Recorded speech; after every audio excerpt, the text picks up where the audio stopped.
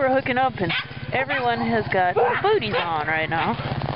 Well, actually, I've started in front of the team.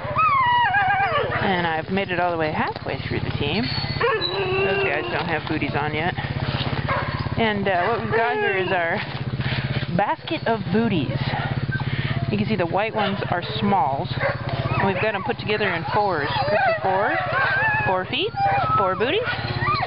And so like pair here, Bonita here, is a medium, and Newt is a small. So I usually lay two pairs out at each dog, and uh, we'll go that way. Anyway, it is 20 below. We're headed out on about a three and a half hour run or so. So, um, hey, Kipper, are you leaving those booties alone or are you taking them off? This is a problem with smart dogs. You see that? Is your booty almost off already? Thank you, but you'll have to actually wait till we finish the run. Anyway, let me put Kipper's boot back on and I'll get. Got everyone bootied up. They look pretty enthusiastic about their booties. Roy, how do you feel about your booties? I hate my booties. and so we're going to head out. What do you guys say?